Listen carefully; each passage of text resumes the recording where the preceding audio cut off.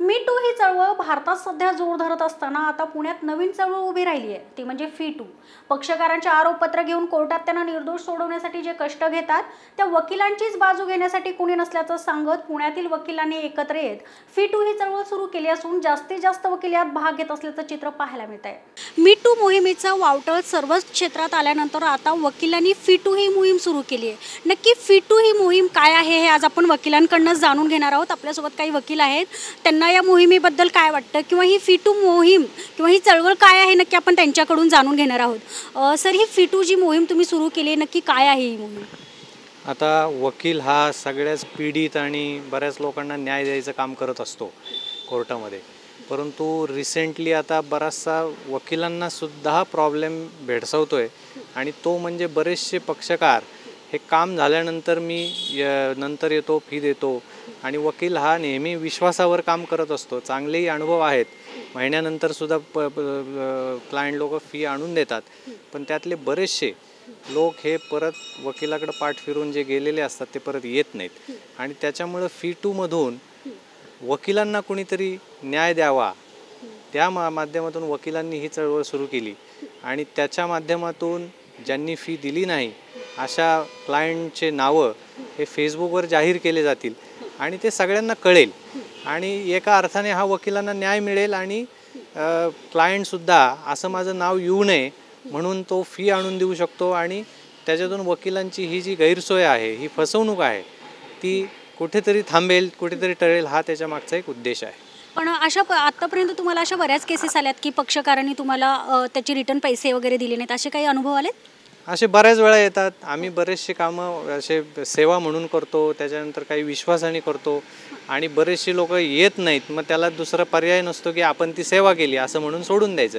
असे ब- अनुभव प्रत्येक वकिलांना रो रोजच येत असतात आणि त्याच्यामुळे तर ही फी टू मोहीम सुरू केली आहे वकिलांनी ही फी टू जी मोहीम आहे तर या मोहिमेला कसा प्रतिसाद मिळतो? काय सांगाल? चांगला प्रतिसाद आहे.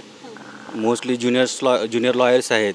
त्यांना देखील एक आत्मविश्वास वाटतो की कोणीतरी आहे की या मोहिमेद्वारे कारण मोस्टली जो प्रॉब्लेम्स येतो ज्युनियर वकिलांना येतो. कारण फीज कसे आपण नाही कलेक्ट करायचे किंवा कसे कोट करायचे हे त्यांना समजत नाही. आणि ज्यास एखाद्या पक्षकाराला करत कळवतात त्यांनी फीज तर तो पक्षकार जो त्यांना तसा फसवून जातो तर जी हार्डशिप असते ही त्यांना सफर करावी लागते. तर या ज्या मुवमेंट थ्रू त्यांना म्हणजे ते एक पोर्टल भेटलेलं आहे की ते तिथे नाही का पोस्ट करू शकतात की असं असं झालं मग त्याच्यामुळे नाही का ते पक्षकार जर अलर्ट झाले मग ते नाही का मग फीज आणून देतील. परत बऱ्याचशा आता ज्युनियर लॉयरचे जे प्रॉब्लेम्स असतात ते सॉल्व्ह होतील. बरं आपण बऱ्याचदा असं पाहिलं की जे तुमच्याकडे असे क्लायंट असतील की ते सोशल मीडिया वापरतच नसतील. तर त्यांना काही या मोहिमेचा फायदा होईल मला तरी असं वाटत नाही. कसं असतं आता सोशल मीडिया जरी कोणी वापरत नसलं तरी जवळचा कोणतरी व्यक्ती वापरत असतो. मग त्यांनी पाहिलं की अरे तुझं नाव आलं होतं. जसं की मोस्टली आपण पेपरमध्ये कुणाचं नाव आलं की आपण सांगतो फोन करू आज पे- पेपरला नाव आलं होतं तुमचं काय.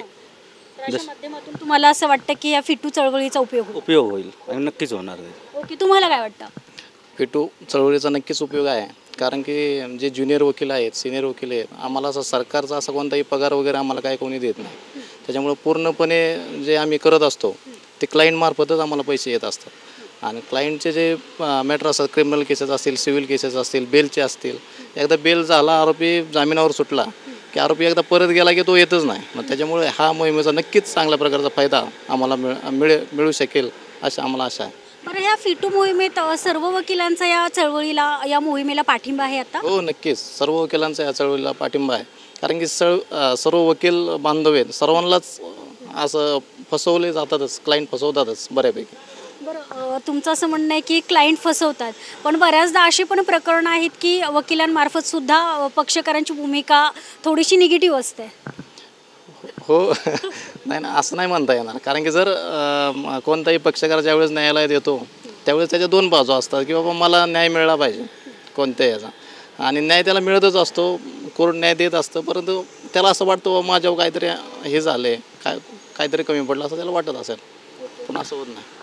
एकूणच काय तर आपण वकिलांचं आता जे म्हणणं आहे ते ऐकून घेतलेलं आहे की मीटू या चळवळीतून जी प्रेरणा घेऊन फिटू चळवळ सुरू केलेली आहे या फिटूच्या माध्यमातनं वकील ज्या पक्षकारांना न्याय देतात तसाच न्याय वकिलांना सुद्धा या फिटूच्या माध्यमातून मिळेल असा एक आशावाद या वकिलांमध्ये निर्माण झाला आहे कॅमेरामन रोहित वनखटेसह मी शनाया दिमा न्यूज पुणे.